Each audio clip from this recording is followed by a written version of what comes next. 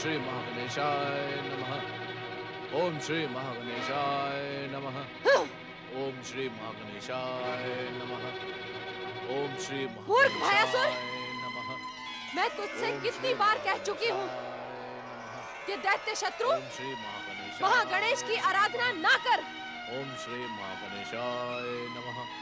अरे मंदबुद्धि यदि तुझे आराधना ही करनी है तो परमपिता ब्रह्मा जी की आराधना कर। वो मेरे पितामह हैं। वो एकमात्र ऐसे महान देवता हैं जो युगों से दैत्यों और असुरों को वरदान देते आए हैं। मैं तुझे भी उनसे मनचाहा वरदान दिलवाऊँगी। दैत्य शत्रु महागणेश की आराधना का त्याग कर। मैं कहती हूँ, त्याग कर। अब मैं तुझे दंडित किए बिना नहीं रहूँगी। तू दैत्य माता दिति की आज्ञा की उपेक्षा नहीं कर सकता। श्री नमः। ओम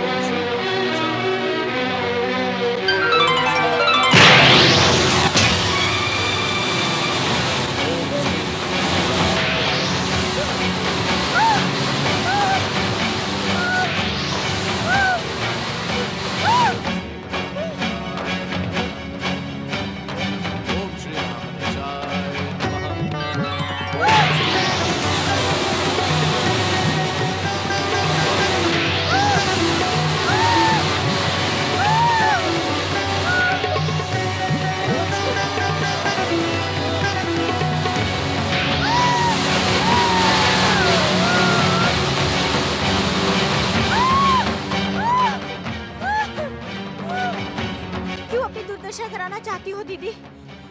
इतना अधिक लांछित और कलंकित होने के बाद भी तुम्हारी आँखें क्यों नहीं खुलती, दीदी?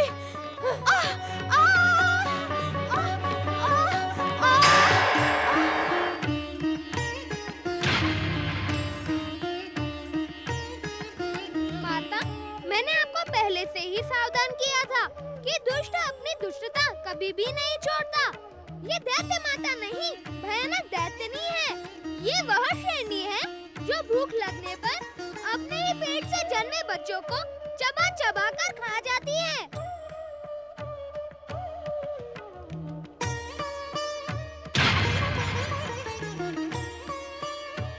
अपनी मर्यादा ना भूल गजमुख। अन्यथा अन्यथा क्या कर लोगी तुम? दैत्य गुरु शुक्राचार्य ने तुम पर विश्वास करके तुम्हें यहाँ भेजकर जो भूल की थी अब मुझे उस भूल को सुधारना ही होगा। तेरे जैसी राक्षसनी पृथ्वी लोक पर रहने के योग्य ही नहीं है। मुझे योग्यता की शिक्षा ना दे गजमुख। चला जा यहाँ से। अन्यथा मेरा क्रोध तुझे दंडित करने में संकोच नहीं करेगा।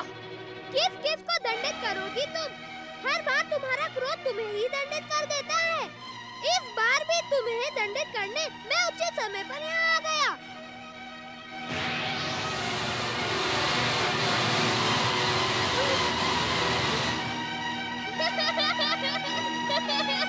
ये तो क्या कर रहा है गजमुख? छोड़ दे मुझे। छोड़ दे। इसी परिणाम के लिए तूने इतनी अधिक दुष्टता की थी ना? मुझ पर तुम्हारी चीख पुकार का कोई प्रभाव नहीं पड़ेगा। अब तो तुम्हें पुनः तारक पुत्रों के त्रिपुरों में बंदी बनकर रहना ही पड़ेगा। नहीं गजमुख नहीं। मुझे उस कारावास में ना फेंको। मैं वहाँ नहीं जाऊँगी गजमुख। नहीं जाऊँगी। वहाँ जाना ही नहीं था। तो इतनी दुष्टता क्यों की? अब तो तुम्हें वहाँ जाना ही पड़ेगा दैत्य माता। कमलाट के रजतपुर में रहकर अब अपने पापों का प्रायश्चित करने के लिए शिव आराधना करना न भूलना दैत्य माता।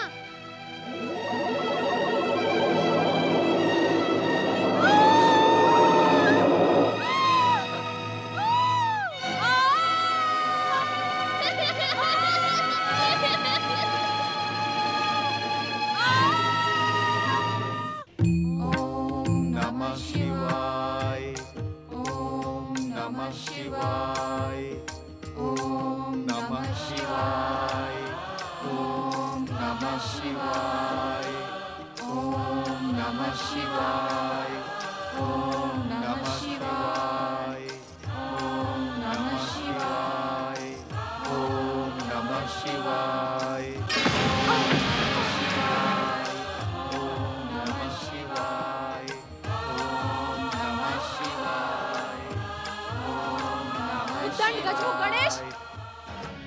मैं तुझे नहीं छोड़ूँगी। तुझसे गिन गिन कर प्रतिशोध लूँगी मैं। हाँ, आप यहाँ कैसे लौटाई देते माता? मैं दैत्य माता नहीं हूँ। मैं शेरनी हूँ शेरनी। जो अपने ही पेट से जन्मे बच्चों को चबा चबा कर खा जाती है। यदि तुम लोगों ने भी मेरी बात नहीं मानी तो मैं तुम सबको भी चबा चबा कर खा जाऊँगी। ये आपको क्या हो गया दैत्य माता? जो कुछ भी हुआ है उससे दैत्य जाति का कल्याण ही होगा। अब मेरा प्रतिशोध जाग गया है। कमलाक्ष तुम्हें इसी समय शिव आराधना का त्याग करके स्वर्ग पृथ्वी और पाताल पर अधिकार करना होगा। नहीं। जब तक भैया तारकाक्ष लौट कर नहीं आते तब तक हम ऐसा कुछ नहीं करेंगे। तुम्हें ऐसा करना ही होगा क्योंकि ये दैत्य माता दिति की आज्ञा है। तुम्हारे स्वार्थ की वेदी पर मैं पहले ही अपना पति खो चुकी हूँ दैत्य माता। अब मैं अपने पुत्रों का बलिदान नहीं दूँगी।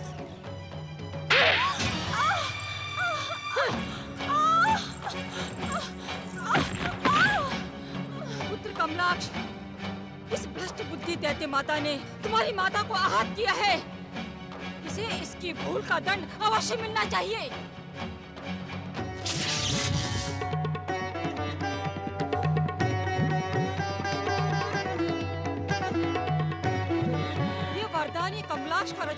है दैत्य माता।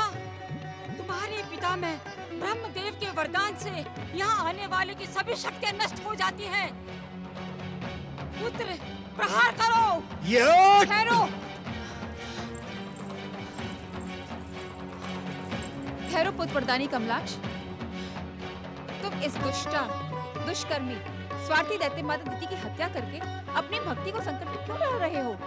माता भले ही मेरी भक्ति संकट में पड़ जाए परंतु आपको आहत करने वाली इस दुष्टा को मैं कदापि क्षमा नहीं करूँगा। नहीं पुत्र नहीं। मैं तुम्हें ये पाप नहीं करने दूँगी। पुत्र वधु शाम्बू की इस दुष्टा का मर जाना ही उचित है। जब तक ये जीवित रहेगी क्रोध में उफनती हुई हर एक के जीवन की शांति को भंग करेगी। कमलाक्ष को आज्ञा दो पुत्र वधु इसे दंडित करे। विलंब न करें माता। इसे दंडित करने की आज्ञा दें। इसके कारण ही हमारी शिव आराधना में बाधा पड़ी है। इसका वध करके हम पुनः शिव आराधना का प्रारंभ करेंगे। मुझे आहत करने के कारण। तुम इस दुष्टा को दंडित करना चाहते हो ना? हाँ माता। मैं तुम्हें एक ऐसा उपाय बताऊँगी जिससे इस दुष्टा को दंड भी मिल जाएगा और तुम्हारे सर पर कोई पाप भी नहीं चढ़ेगा और तुम्हारी पूजा पर संकट भी नहीं आएगा। ऐसा कौन सा उपाय है माता? श्री गणेश ने इस दुष्टा को यहाँ फेंक दिया। तुम इसे उछालकर अंतरिक्ष में फेंक दो ताकि जीवन भर ये अंतरिक्ष शून्य में भटकती रहेगी। नहीं नहीं। मेरे साथ ऐसा अन्याय ना करो। दैत्य गुरु शुक्राचार्य ने कहा था कि मैं दैत्य जाति की सबसे अधिक आदरणीय हूँ। दैत्य माता आदर पाने के लिए स्नेह करना पड़ता है। अब तो तुम्हें दंडित होना ही पड़ेगा। देख क्या रहे हो पुत्र कमलाक्ष, इस उछाल का अंतरिक्ष में फेंक दो।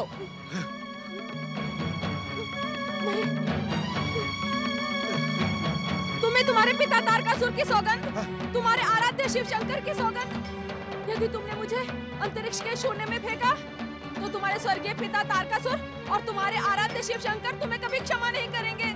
छोड़ दो मुझे, छोड़ दो छोड़ दो कमला यदि आप शांत रहकर निरंतर शिव आराधना का वचन दें तो मैं आपको क्षमा कर सकता हूँ। हाँ, हाँ, मैं वचन देती हूँ।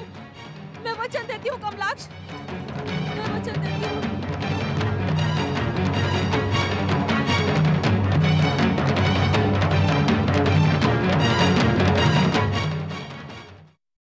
गणेश के अवतार गौरी पुत्र श्री गणेश आप हम पर सदा कृपालु रहे हैं। हे मंगल मूर्ति आप हमारा प्रणाम स्वीकार करें।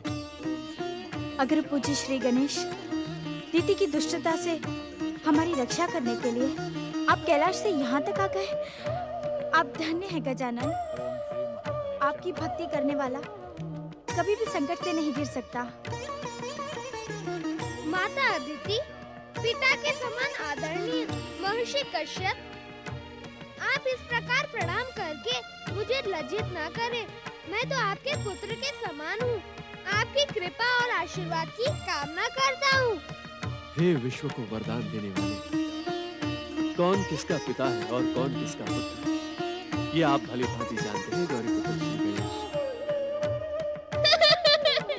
महर्षि आप बात तो मुझसे कर रहे हैं परंतु संबोधित परम देव को कर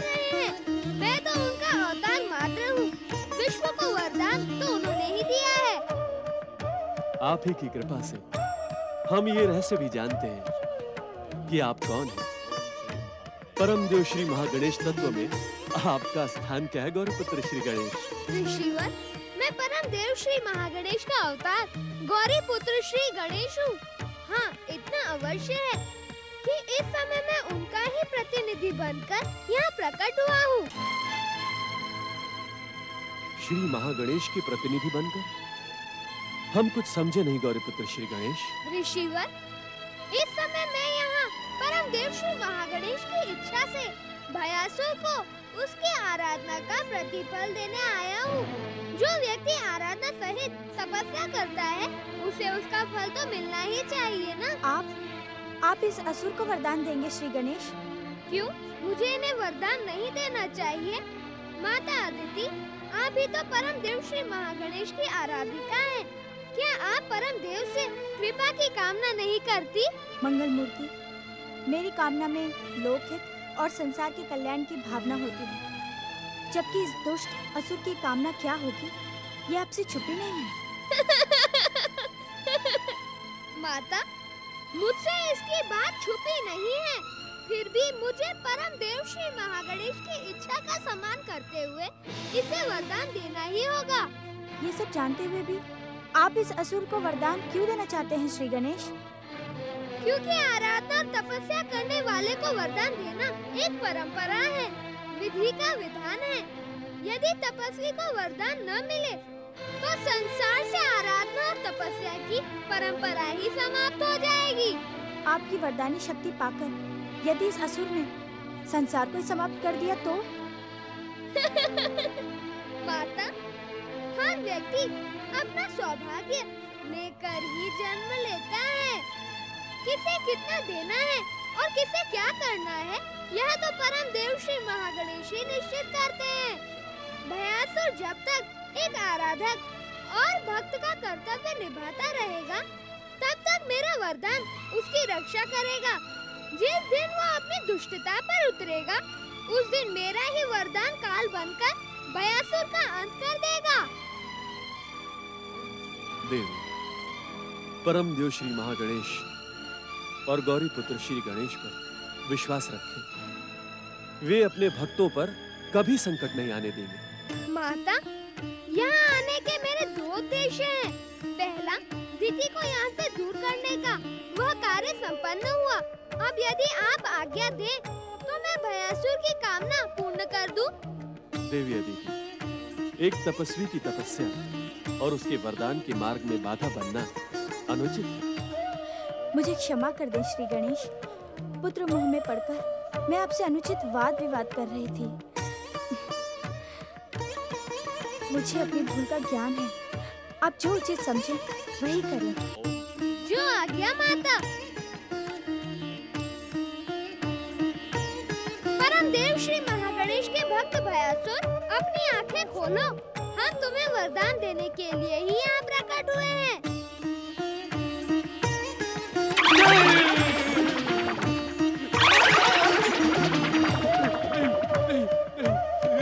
मैंने कुछ नहीं मैंने, मैंने कुछ नहीं किया मैंने कुछ नहीं किया।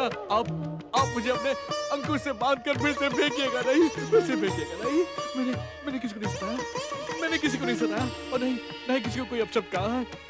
मैं तो मैं तो यहाँ पर दैत्य गुरु शुक्राचार्य की आज्ञा मानकर श्री महागणेश की आराधना कर रहा था। आप आप मुझे यहाँ दंडित करने क्यों चले आए? मुझे मुझे क्षमा कर दे श्री गणेश। मुझे क्षमा कर दे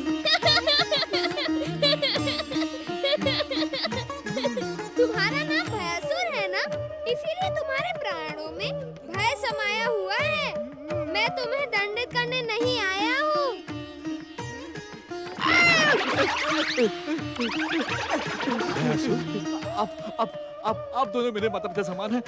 इनसे कहिए इनसे कहिए कि मुझे अपने अंकुर से दंडित ना करे। मुझे मुझे मुझे यहाँ से भाग जाने दे भाग जाने दे। रहो भयासुर अपने भय पर नियंत्रण करो भयासुर। आओ। नहीं। आओ भयासुर भयभीत न नहीं। हो आओ। मंगल मूर्ति श्री गणेश मैंने आज तक किसी असुर को इस प्रकार गिड़गिड़ाते और भयभीत होते नहीं देखा। भयासुर परम देव श्री महागणेश की आराधना करके तुमने एक तपस्वी का कर्तव्य पूर्ण किया है। अब तुम्हें भयभीत होने की आवश्यकता नहीं है। हाँ आप आप आप दोनों ने मुझे पकड़ के रखा है। मुझे छोड़ दीजिए मुझे मुझे इनसे भय लग रहा है। इन्होंने इन्होंने एक ही प्रहार में मुझे कैलाश से उठाकर यहाँ पर फेंक दिया। हे श्री गणेश मुझे मुझे फिर से मत फेंकिएगा।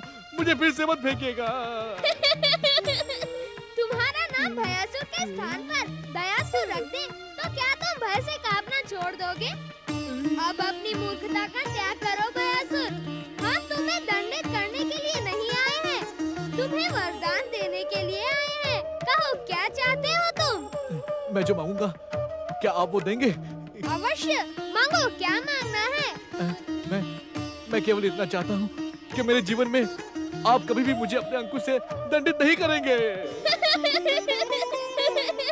तुम भयासुर होने के साथ ही साथ मूर्खासुर भी हो। क्या इतना ही मांगने के लिए तुम परम देव श्री महागणेश की आराधना कर रहे थे? मैं स्वयं नहीं जानता कि मैं आराधना क्यों कर रहा था। अब अब आप ही बताइए कि कि मैं क्या मांगू? अब आना मार्ग पर। तुम्हें तुम्हारी तपस्या के लिए स्वर्ग और पृथ्वी का साम्राज्य मिलना चाहिए। अपने पूर्वज असुरों के समान सुख वैभव और अतुल्य शक्ति के साधन मिलने कहते कहते आप रुक क्यों गए श्री महागणेश? मैं श्री महागणेश नहीं केवल गणेश हूँ। इस समय तो मैं परम देव श्री महागणेश का प्रतिनिधि बनकर तुम्हें वरदान देने आया हूँ। तुम जानना चाहते हो कि मैं परंतु कहते कहते रुक क्यों गया? अवश्य। भयासुर असुर जाति की एक परंपरा है। जन्म लेने वाला हर असुर शुक्राचार्य का मार्गदर्शन पाकर अपनी तपस्या से वरदान प्राप्त करता है।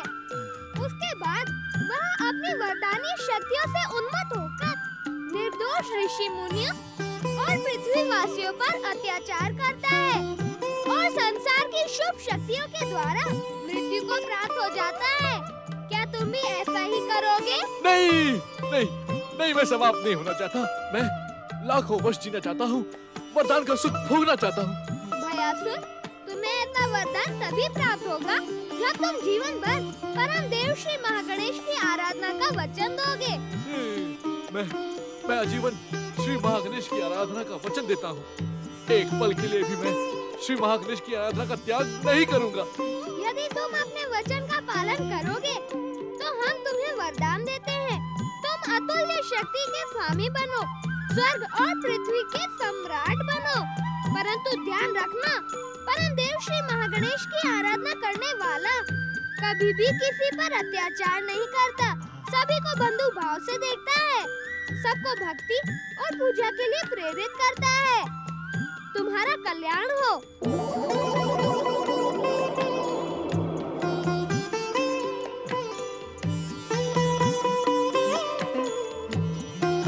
प्रणाम महर्षि कश्यप, प्रणाम माता अदिति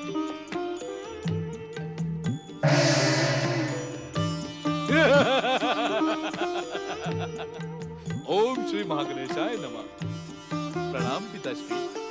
प्रणाम माताश्री। आप दोनों मेरे माता पिता समान हैं। मैं आप दोनों की सेवा के लिए प्रस्तुत हूँ। कहिए कहिए क्या आज्ञा है? यदि तुम माता पिता के समान हमारा आदर करते हो तो हमारे पुत्र स्वर्गाधिपति देवराज इंद्र को स्वर्ग से वंचित न करना। भयासुर मंगल मूर्ति गौरी पुत्र श्री गणेश के परामर्श का जीवन भर पालन करना और कभी किसी निर्दोष प्राणी पर अत्याचार न करना। ओम नमः शिवाय। वरदानी वीर भयासुर। गुरुदेव! गुरुदेव! मैंने आपके आशीर्वाद से वरदान प्राप्त कर लिया। वरदानी भयासुर हमारी तप शक्ति के कारण हमें यह ज्ञान है कि तुमने वरदान प्राप्त कर लिया है। हमारे परामर्श से ही तुम्हें वरदान प्राप्त हुआ है। इसीलिए हमारी आज्ञा का पालन करना तुम्हारा कर्तव्य है।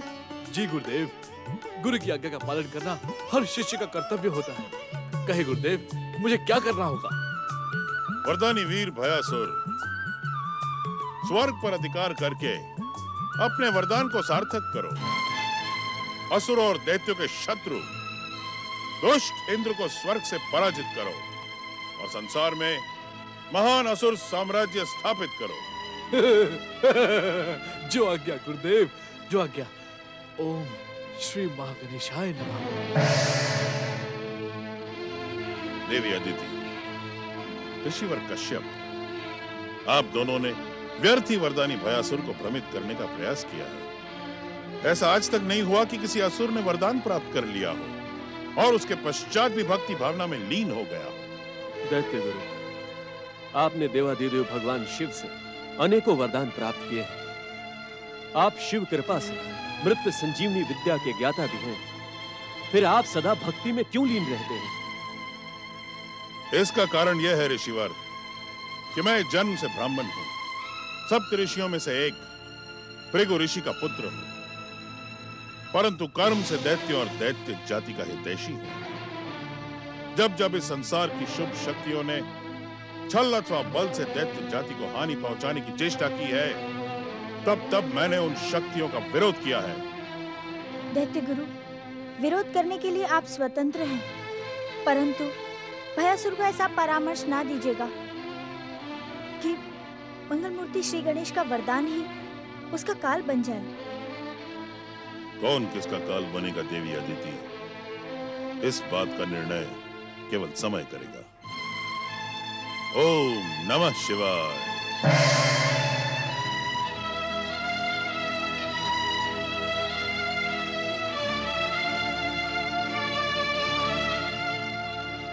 हे परम देव श्री महागणेश, हमारे पुत्र इंद्र की रक्षा करें।